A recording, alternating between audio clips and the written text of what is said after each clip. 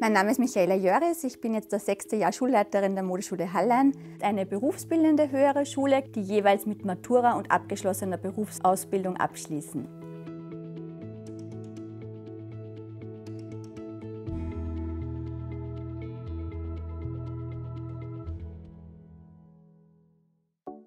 Ja, als Modeschule ist es so, dass unsere Ausbildung dreigeteilt ist. Und hier ist es einfach notwendig, auch neue Wege einzuschlagen durch fächerübergreifenden Unterricht, durch Blockungen von Unterricht und hier bietet uns die Schulautonomie natürlich zusätzliche Möglichkeiten und das ist absolut förderlich für unsere Schulform.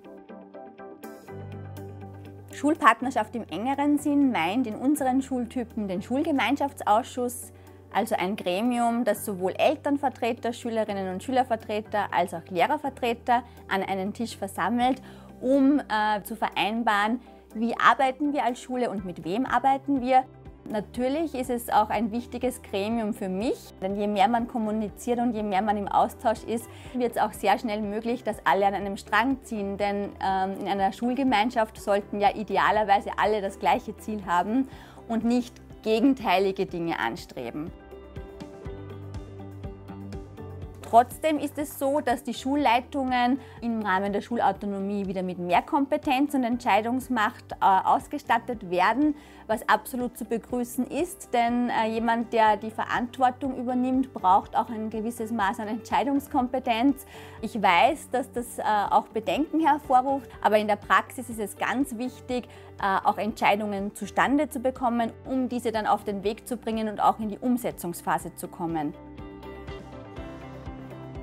Also generell ist es so, dass äh, man mit den Stakeholdern einfach ähm, über längere Zeit intensiv netzwerken muss und dann kann man hier wirklich gute strategische Partnerschaften finden.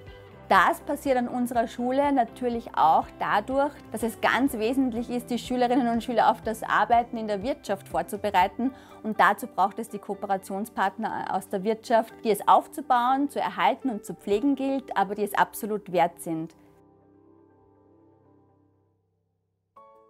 Schulautonomie ist für jede Schule wichtig, denn durch Schulautonomie ist es möglich, seine eigenen Kernkompetenzen, seinen USP zu stärken, dementsprechend auch ein besseres, ein qualitativ hochwertigeres Ausbildungsprogramm anbieten zu können, um nämlich dem großen Ziel, die bestmögliche Ausbildung und Bildung für unsere jungen Menschen, für unsere Schülerinnen und Schüler auf den Weg zu bringen.